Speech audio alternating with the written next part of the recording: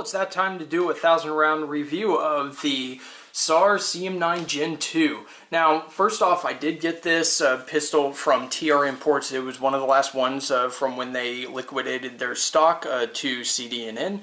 So, of course, you have the way they spell Turkey. It's pronounced Turkey. I don't think we're going to start uh, you know, pronouncing things the way the Turks do because they pronounce things differently, especially when they cross over to English. So, anyways, you know, those people that like saying Janik, you know, I, have already got a video about that, but as you can see, TR Import. So if you get one of these pistols, just so you know, um, they're now being imported exclusively from by SAR USA, but TR Imports will honor the warranty, and if you do register it, you will get an extended warranty. So uh, that's just information I wanted to pass along real quick. Now, for the thousand round review, I want to go ahead and start off by talking about this grip.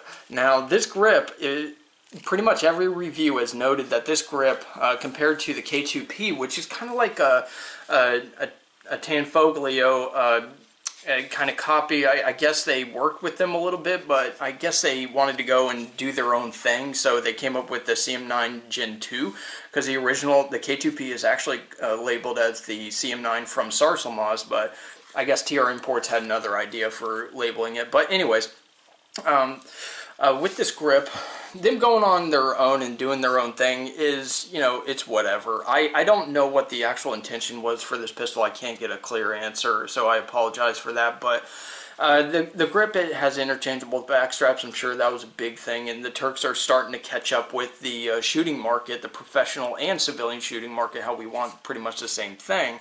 And uh, this pistol's uh, grip is just, I, I, I hate it. I, I hate the, the fact that it is so slick.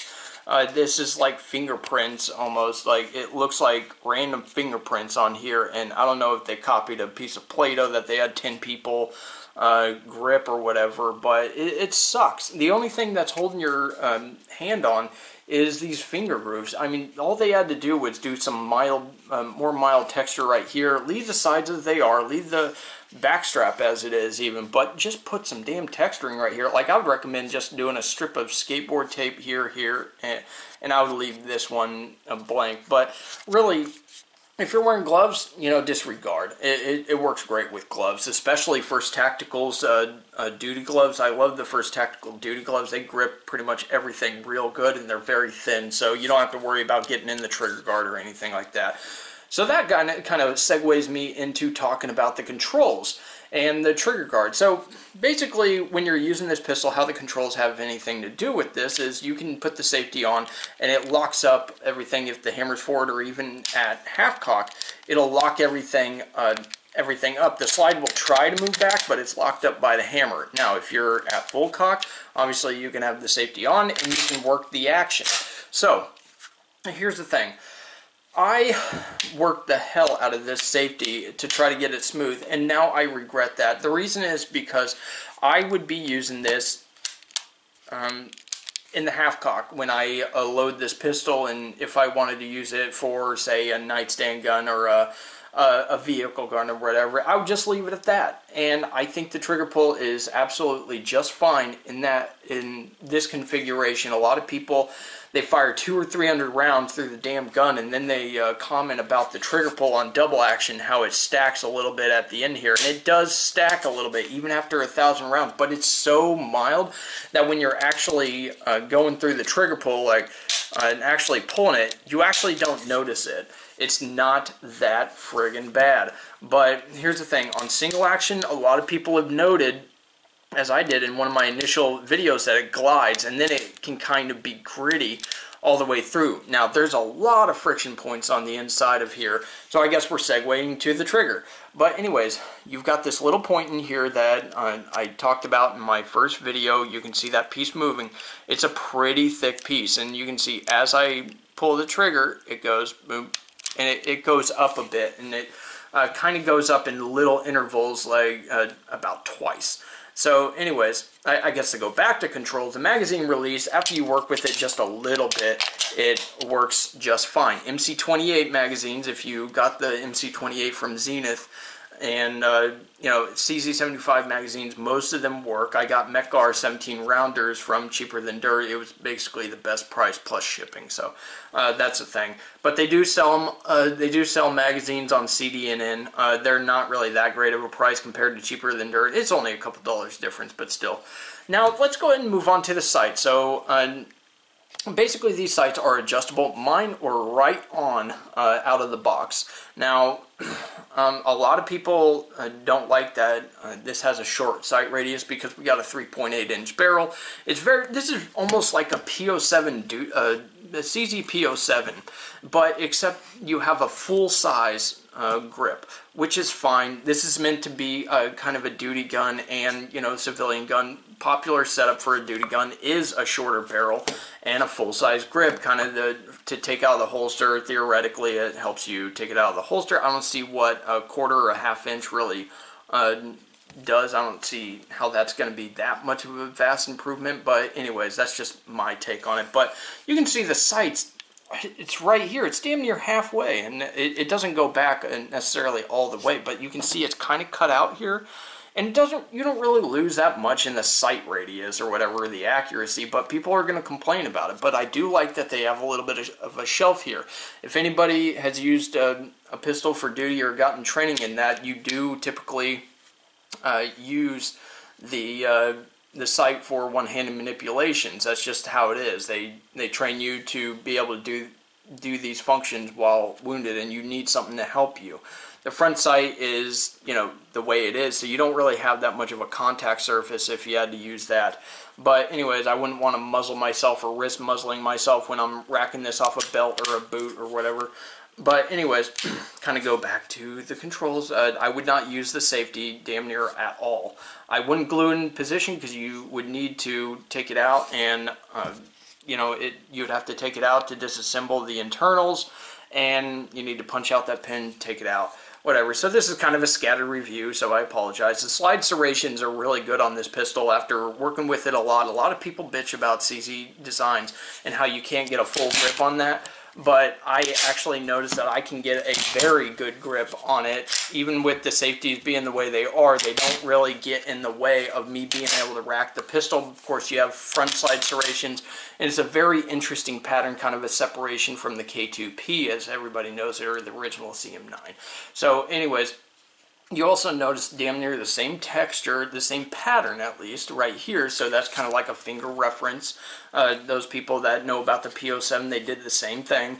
They have a little bit of a finger reference right there. So anyways, as far as the slide release is concerned, this is made to be a slide release. It is all, it is pretty, uh, it's it extends a good amount. The safety is kind of far away for me to be able to competently use it, even though it's really easy to take off now, so I couldn't carry this cocked and locked. But when you're loading a magazine, this is very easy to find, and it's very, uh, it, it's not really easy to take off, but it, it works exactly like it's supposed to. It gives you a good amount of resistance, and you have to be sure that you're trying to release it. Only a couple of times have I been able to insert a magazine really fast and set the slide home. It only happened a couple times, but Anyways, the next thing I want to do is break down this pistol and talk about the internals. As far as disassembly is concerned, I want to go ahead and note here that, of course, you line these dots up, but I'm going to go ahead and cover this. But I can actually push this out with my index finger at this point, and it's not going to be something you're going to be able to do right away. But as you can see, this is a pretty beefy uh, slide release. Now we'll go ahead and take off the top here. Of course, you don't have to decock it, do anything like that. It comes off pretty smooth. Now, as far as, you know, the spring system, double double recoil spring system, no, two springs. The smaller one is your recoil spring, kind of to soften it up as it's coming back. It is shorter than this standard spring uh, right here. This is your return spring. So this is the main function of this is to get your slide to go back home. So uh, one thing to note is uh, when consulting uh, TR Imports and SAR USA, this spring is actually compatible with things like the CZ75 Compact or PCR if you want to find that. Or if you want to get a, like a DPM spring, I would love it if I could get a DPM spring to test. They're just expensive. So anyways, I might invest in that in the future. I really like this gun, just kind of jumping ahead a little bit. So as far as the barrel is concerned, Sarsilmaz, if you go to their original website, I'll link it down in the description below. They talk about their rifles, how they're using the most updated machining, and they really invest in CNC machines, but um, they they still do button rifling. A lot of manufacturers, if, if they're doing a lot of mass production, they want to invest in cold uh, cold forging uh, for their uh, barrels. You don't really lose accuracy by going with a cut rifle, uh, cut rifled or button rifled or even cold forged. It's just cold forged. If you're going to be doing a shitload of production, it will save you costs. Now, one of the things I um, did notice here is you got machining marks on all the areas where there's not um, constant friction. This is supposedly chrome plated, and the uh, the finish really doesn't wear much. It is incredibly slick, and you damn near don't need any lubricant at all to help it along. Now the crown is one of the areas that I noticed it was very unfinished and it was just ugly and you know it, it's not really uh, coming up on here so I'll just go ahead and put it put a picture in.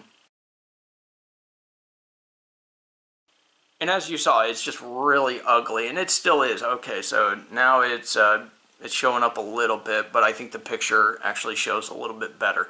But anyways, this is a very good barrel. It's very solid, very uh, very thick. It's basically the same as the K2P if I remember correctly.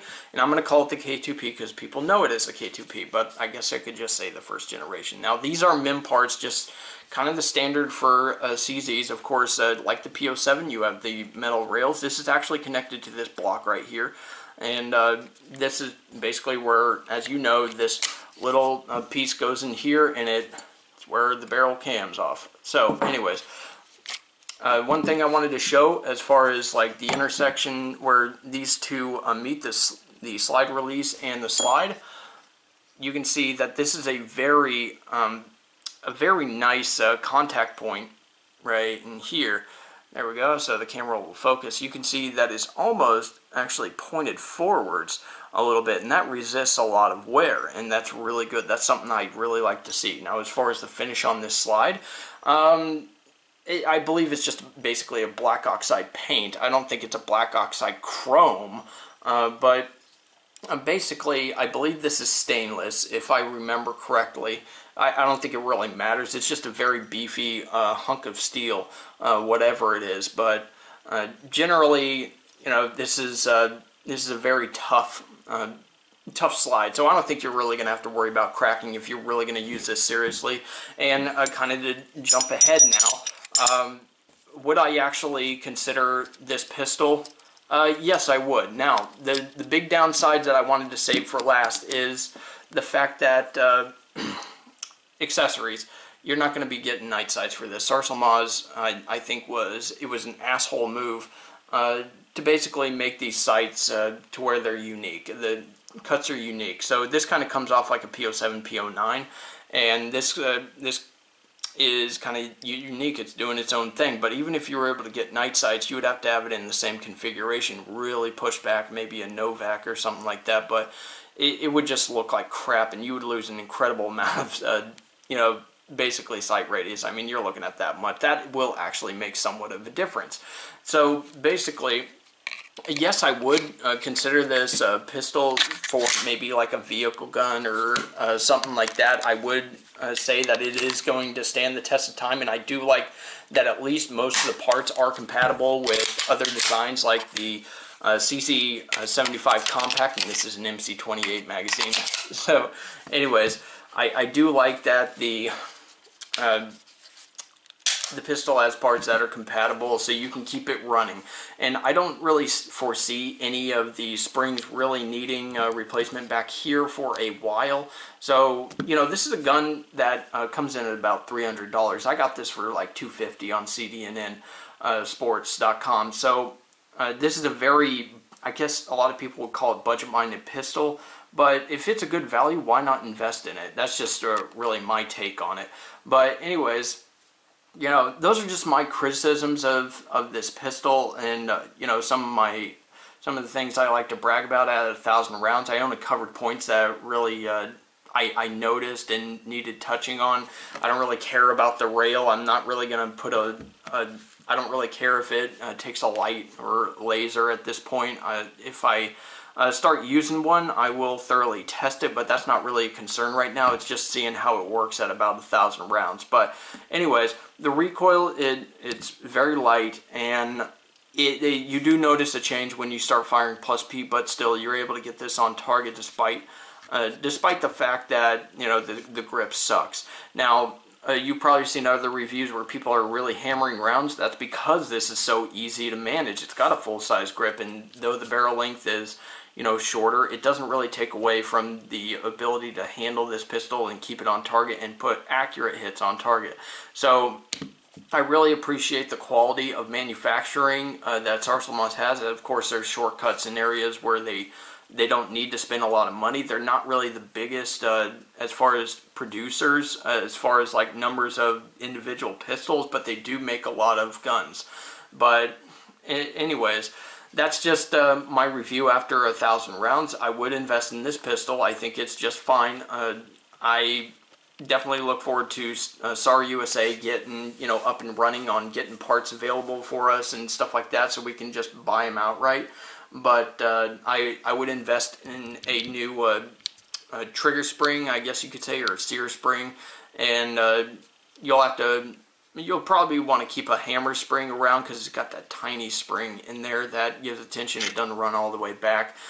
You know, it's just a pistol that uh, I think could actually be used despite the fact that there's not really holsters unless you want to get a custom holster. A local, I'm sure you guys have local guys, uh, local people that can make holsters or, or what have you. But uh, as last I heard, Clinger Holsters is actually considering making holsters for this pistol.